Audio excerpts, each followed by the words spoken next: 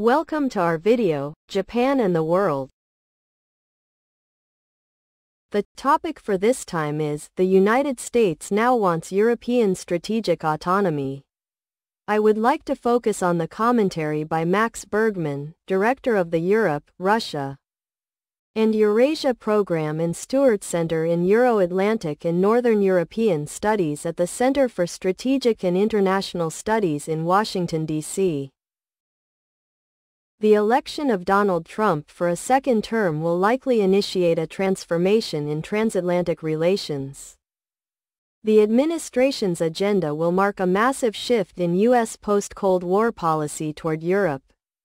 Instead of seeking to preserve and maintain the United States' preeminent role in Europe, a Trump administration is likely to pull back and largely leave Europe to Europeans.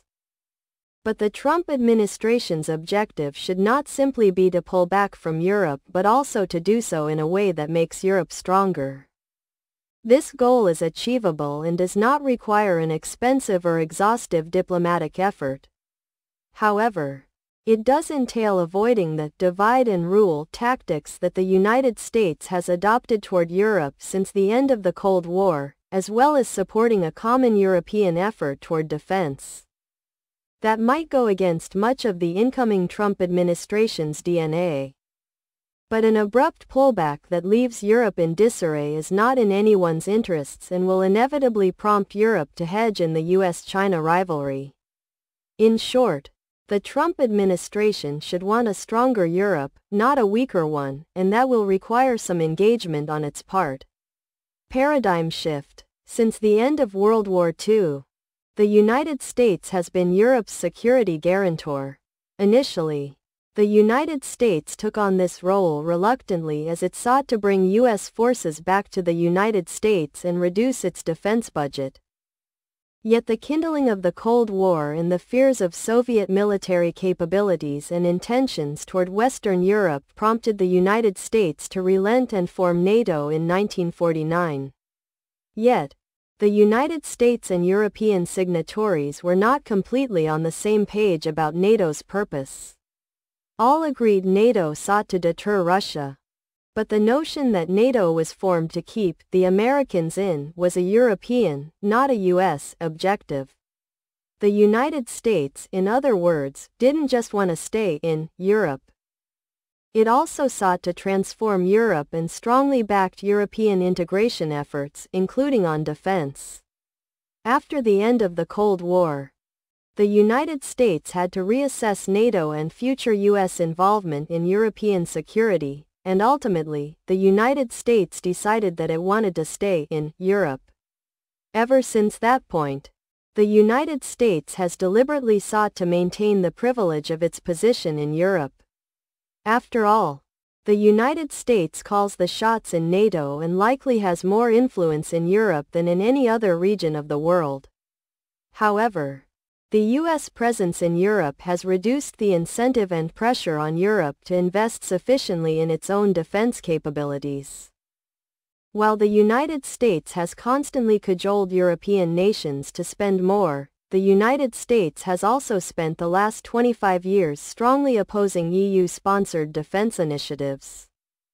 Even when European nations do spend more on defense, as they are now currently doing, they are unable to collectively handle their own security because collective European security is a NATO, that is, United States, responsibility. Some U.S. leaders and members of the Washington national security establishment have increasingly grown frustrated with Europe's perceived lack of contribution and, over two decades, have come to think little of Europe. Even so, when a debate in Europe emerged over European strategic autonomy with the election of Donald Trump and French President Emmanuel Macron, the U.S. national security establishment reacted in strong opposition. The United States saw strategic autonomy as leading to a transatlantic divorce. A senior U.S. defense official quipped years ago. I told my wife this morning that I wanted more strategic autonomy and tonight I am staying in a hotel. When the European Union proposed modest defense initiatives, Trump's Department of State and Department of Defense strongly opposed them. Despite Trump's aversion to NATO, his administration sought to ensure the United States' primacy in Europe. That continued in the Biden administration. Yet there has been a subtle and quiet shift. With the United States no longer vocally opposing European Union-led initiatives but not actively supporting them either. Enter Trump, again. This brings the discussion to the election of Trump for a second term. While Trump, during his first term, tapped traditional foreign policy hands that embraced NATO and supported the transatlantic alliance, his second term is likely to pursue a very different course. President Trump has long-standing and strongly held views of the alliance over the past four years. More comprehensive policy discussions have emerged on how exactly to reduce the U.S. security commitment to Europe, allowing Trump's vision of the United States' role in NATO to materialize. Furthermore, the Pentagon's focus is on the pacing challenge of China. While many European nations are deeply concerned about the threat Russia poses to NATO, for many analysts, Russia's years of struggle in Ukraine illustrate there is not as much to be concerned about. Trump national security officials are thus much more likely to follow through on a deliberate U.S. pullback from NATO. But what does that mean in practice? A Trump administration might withdraw U.S. forces and capabilities from Europe or refuse to commit key assets to NATO planning. It might not appoint a NATO ambassador or a new Supreme Allied Commander. Trump might not show up at next year's summit in The Hague. The theory of the Trump case is that a blunt, in-your-face pullback will shock Europe to get its act together. This may work. But this plan may also fail spectacularly, further fragmenting European security and creating a security vacuum that the Trump administration will be blamed for creating. While Europe may not seem to matter to modern-day national security professionals, European security has been the animating concern of U.S. foreign policy since its founding. From this perspective, the last two decades have been an aberration, and a situation where Europe is insecure will necessitate deep U.S. involvement. From the Trump administration's perspective, there are two major downsides associated with a rift in transatlantic relations. First, the transatlantic security relationship is a key factor in cooperation regarding China. The Biden administration recognized the importance of the EU market, which has 450 million people and an economy the size of China's, and formed the US-EU Trade and Technology Council.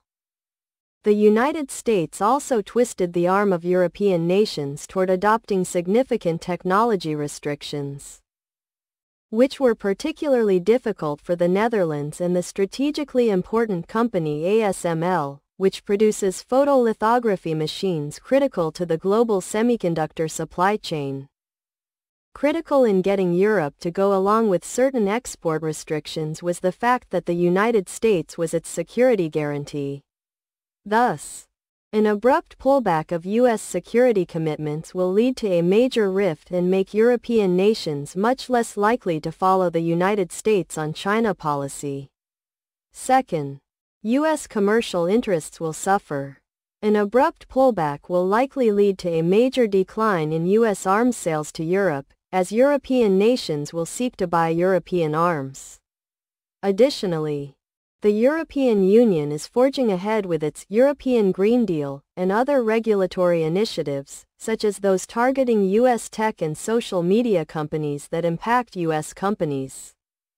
While the United States has corresponding economic leverage vis-a-vis Europe, Trump's key advantage has previously been that the United States provides Europe's security guarantee. Remove that, and Europe will likely feel less encumbered in hitting back at U.S. industry. Provide a roadmap for Europe to step up. The Trump administration should not pull back without a corresponding strategy that aims to reorganize European security. This will not take much effort on the part of the administration, but it will take a degree of U.S. leadership to point Europe in the right direction. Restructuring European defense around Europe and not the United States is not easy and will take time. First, the Trump administration should call on European nations to create a European pillar of NATO. European leaders have been rhetorically talking about the need to do this but have not gotten specific. Putting pressure on European leaders to follow through and develop a clear plan to form such a pillar will be vital. Second, the Trump administration should encourage collective European spending. It is not enough for European states to spend more on defense. If European states all spent 3% of their GDP on defense, as Trump has called for, it is still doubtful European nations would be able to defend Europe. The problem is that European militaries are not set up to fight together without the United States. In the European Union, 27 disparate militaries are lacking the key capabilities needed to fight a war. European countries do not prioritize European defense but national defense. Europe thus needs to create a common pot of funding to address capability gaps currently filled by the United States, such as in missile defense systems and air domain enablers. It is imperative that the European Union increase the funding for its defense initiatives and focus on integrating European militaries into a fighting force that can defend Europe. Third, the Trump administration should not only support the European Union to take on more defense initiatives but also take the European Union's efforts seriously. There are divergent perceptions amongst conservative national security analysts between outward hostility to the European Union, exemplified by Trump's former national security advisor John Bolton, and ambivalence. The Trump administration needs to realize that the European Union is a relevant geopolitical actor. It is much stronger and more durable than Washington has realized and is not going away. If anything, the bloc will become stronger and more important. The Trump administration should see the European Union doing more on defense as part of Europe getting its act together. For instance, the new incoming EU Defense Commissioner, Andrius Kubilius, has proposed ambitious ideas such as the European Union creating common armaments pools or helping to incentivize European states to buy the same equipment, making it easier to fight together. The Trump administration should encourage these efforts. Without the Trump administration's call for unified European action, there is a risk that European nations may fail to organize and unite, which could exacerbate divisions within Europe. Individual European countries, especially those in Eastern Europe most concerned about their security, are likely to approach the president to cut deals in order to maintain U.S. engagement. Meanwhile, there may be a push from U.S. officials to oppose common European efforts. Just as occurred in the first Trump administration and in past U.S. administrations. A Trump administration should reject those calls and avoid seeking bilateral deals with countries that undermine a collective European approach.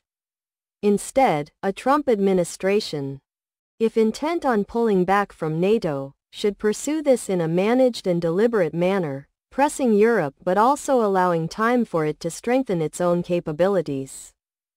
A managed transition would help maintain European support and ensure stable transatlantic relations, which is an essential factor in geo-economic competition with China. By taking this approach, Washington could enable Europe to become not only stronger but also a more capable and effective partner of the United States.